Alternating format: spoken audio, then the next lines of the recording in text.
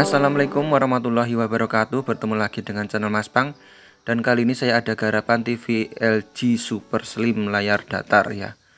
Oke untuk tipenya mari kita lihat bersama-sama. Nah Seperti ini ya untuk tipenya. 21FL 1RG ya teman-teman. Nah Jadi untuk televisi LG ini Ukuran 21 in Super Slim Mari kita coba pencet power seperti apa untuk kerusakannya kita lihat bersama-sama. Perhatikan pada layar ya. Coba saya pencet tombol channel biar start. Nah, barusan terlihat ada kayak start di samping-samping layar itu ya. Tetapi coba saya tunggu kok gambarnya tidak muncul ya. Atau masih gelap gulita. Oh ternyata pada lampu menyala merah lagi ataupun standby ya teman-teman. Jadi rusak seperti itu. Saya pencet volume tidak akan muncul gambar ya karena standby ya di sini ya. Oke langsung saja mesin kita buka. Nah ini dia ya teman-teman untuk mesinnya. Di dalamnya seperti itu. Wah ternyata banyak sekali debu-debunya ya tebal dan juga sarang laba-laba itu ya atau sarang Spiderman ya teman-teman. Sepedanya mainnya masuk ke televisi mungkin tapi kepanasan. Oke selanjutnya sudah saya bersihkan nih ya teman-teman. Sudah cantik ataupun enak dipandang ya sekarang ya. Biar pengecekannya pun betah ya dan selanjutnya coba saya nyalakan lagi dan saya gunakan multitester untuk pengecekannya eh, ataupun pengecekan-pengecekan tegangan pada mesin televisi ini. Coba saya pencet channel lagi ya biar start tetapi kali ini kita ukur tegangan. Langsung saja kita tertuju ke Elko 160 ataupun B plusnya ya. Di sini posisinya kita amati pada multi. Nah itu dia ternyata terukur di bawah 100 volt ya ataupun standby atau drop ya. Jadi seperti itu ya seharusnya standarnya atau normalnya itu 115an kurang lebih ya. Tapi tadi tidak nyampe 100 volt. Nah langsung saja di sini untuk televisi saya matikan terlebih dahulu dan langsung akan saya cek-cek dulu elko elko apakah kering atau tidak. Yang pertama elko besar 450 masih normal lalu B plusnya ya yang 160 nah itu juga masih normal atau masih bergerak untuk jarum ESR nya lanjut yang Elko 100 untuk 180 volt ya. Ini kering ya barusan tidak gerak ya. Dan kita cek juga untuk Elko Elko yang lain ini kebetulan Elko yang 50 0,68 ini juga kering ya. 50 volt 0,8 kering lalu ini area vertikal coba kita cek juga untuk vertikal. Nah ini juga kering ya teman-teman. Lalu sebelahnya ini juga kering yang 16 volt dan 35 volt itu ya. Lalu ini yang satu UF ini masih ada walaupun sudah agak kering sedikit ya. Selanjutnya coba kita cari bagian dekat-dekat Elko B plus ini ya. Ini yang 251 UF ini juga kering. Lalu kita cek yang lainnya ini 100 UF nah ternyata eh, tidak nyampe mentok seharusnya mentok ya normalnya. Berarti banyak yang kering ya di sini teman-teman. Oke langsung saja kita lepas-lepas dulu untuk elko yang kering ini. Nanti akan saya tunjukkan ya untuk elko yang kering tersebut ya teman-teman ini ada beberapa ini ada 6 elko ya. Kalau saya hitung ya teman-teman di sini kurang lebih 6 elko. Baik untuk elko akan saya tunjukkan terlebih dahulu ya. E, dari atas atau saya balik biar terlihat ya. Mana saja ya tadi yang kering ini yang pertama 250 untuk itu kering lalu di vertikal yang 100 UF dan 47 UF gak kering.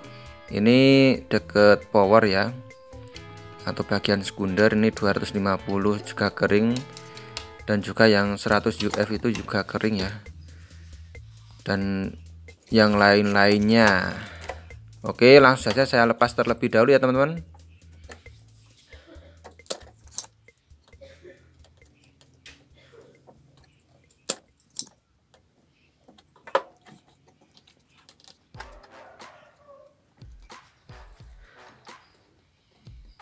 ya. Ini sudah hampir terlepas. Nah itu dia. Terjatuh di atas meja itu ya. Oke kita cek untuk elko nya ya teman-teman. Ini elko 250 volt untuk UF nya coba saya fokuskan biar terlihat. 4,7 UF ini bagian untuk video ya. Coba kita cek apakah 4,7 UF nya ada atau kering ya. Saya gunakan ISR lagi untuk pembuktian ya. Nah di sini cuman bergerak itu masih di angka 0, seharusnya kan 4,7 ya. Jadi tinggal sedikit atau hampir kering ya. Dan dipastikan itu sudah wajib atau perlu kita ganti dengan yang normal atau baru. Oke selanjutnya kita cek-cek atau kita lepas semua ya teman-teman.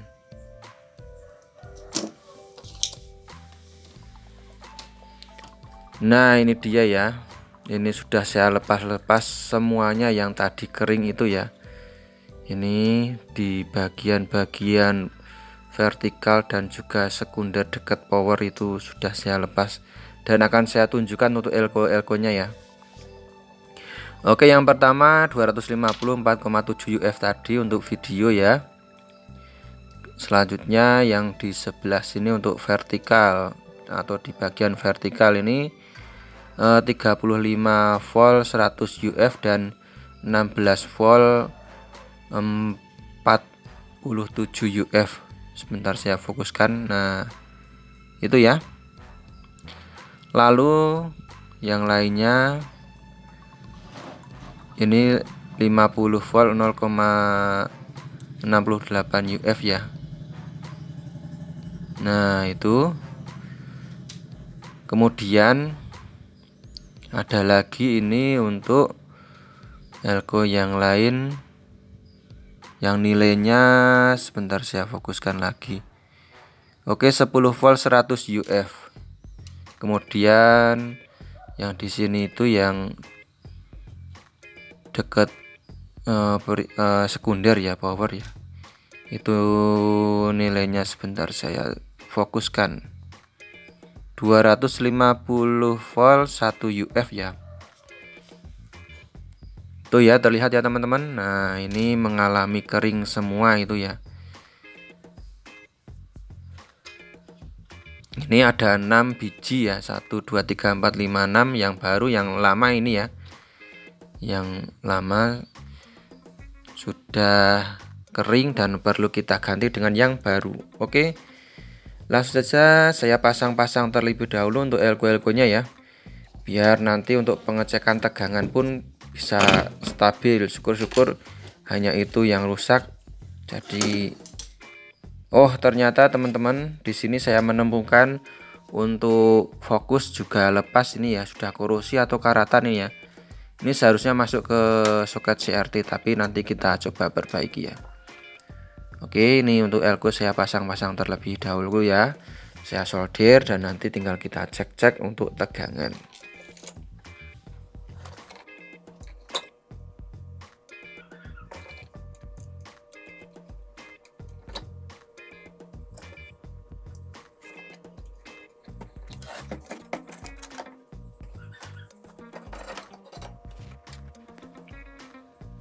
kita solder kembali ya teman-teman untuk elko nya tadi.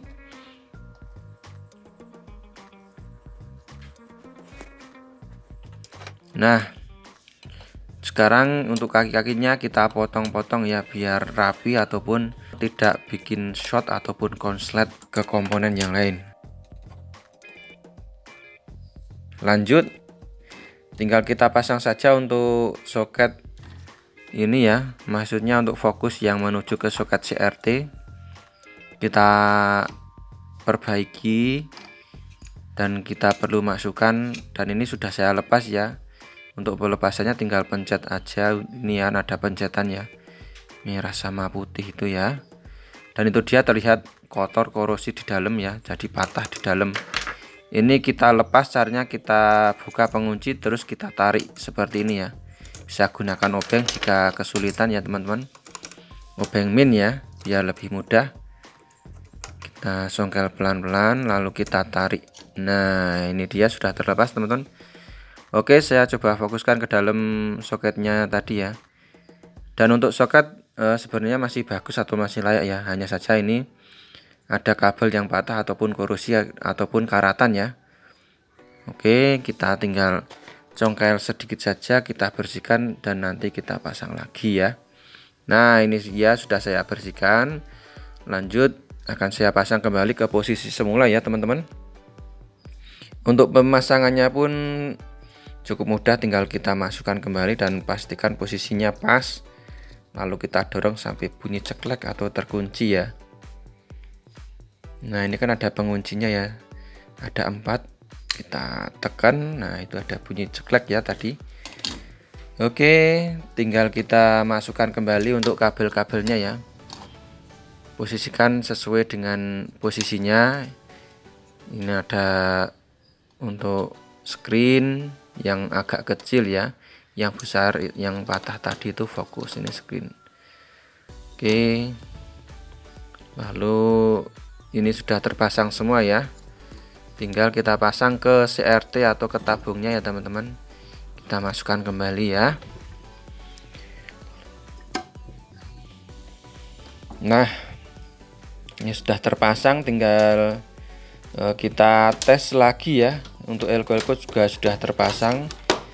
Uh, power saya tancapin terlebih dahulu ya.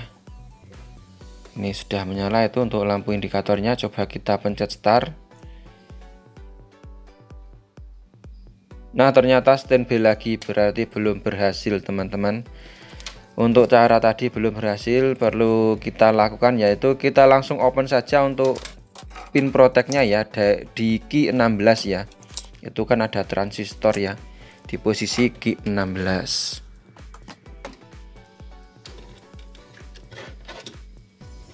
ini dia ya sudah saya open untuk kolektor atau bagian tengahnya.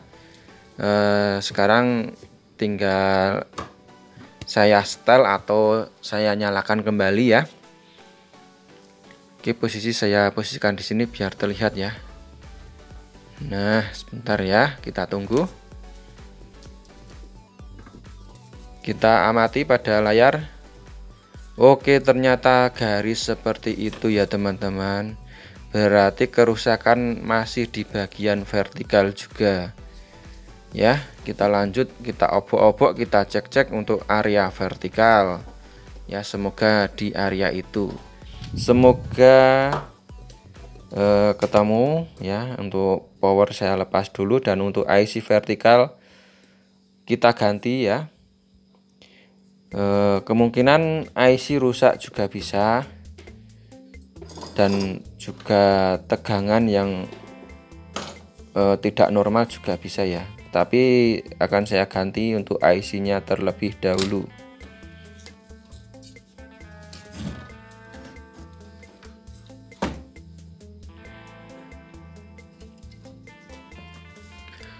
Oke ini dia untuk IC vertikalnya ya. Tipenya TDA 8172 ya. Dan ini untuk penggantinya ya. Sama TDA 8172 saya pasang kembali pada posisi semula. Pastikan untuk solderan eh, benar-benar eh, rapat ya. Dan kita coba kembali untuk televisi.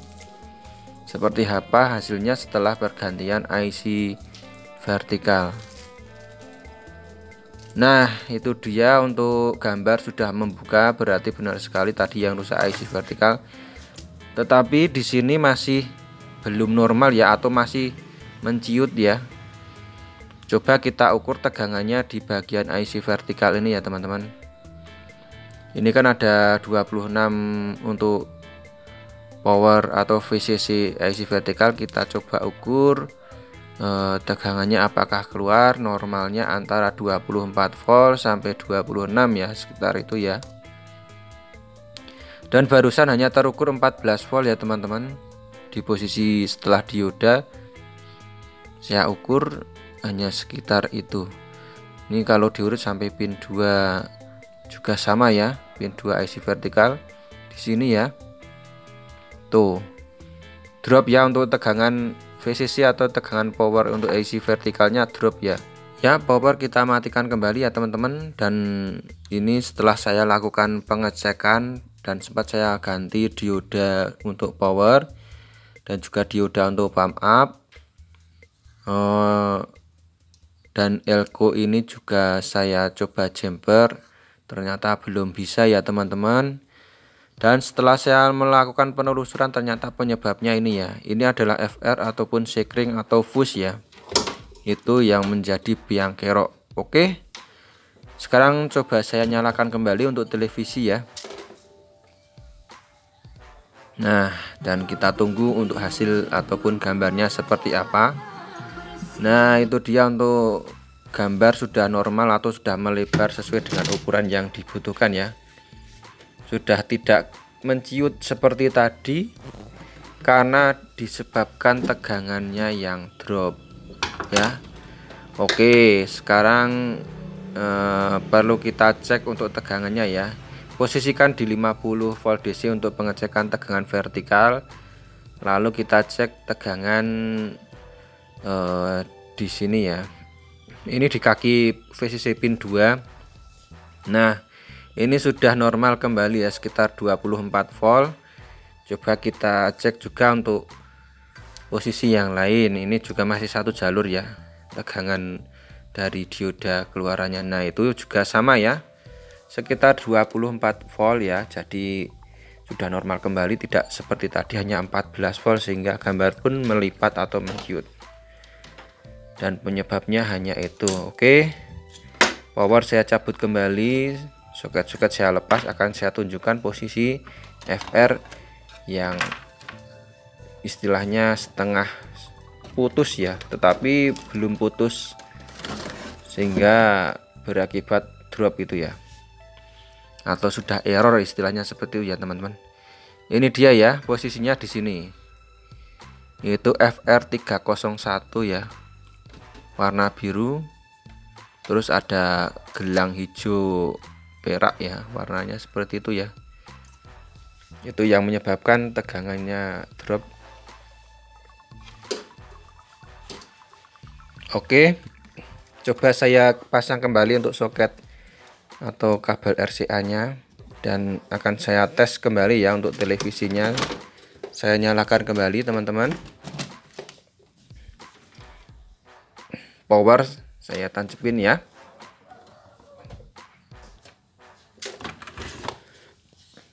coba kita tunggu dan kita amati.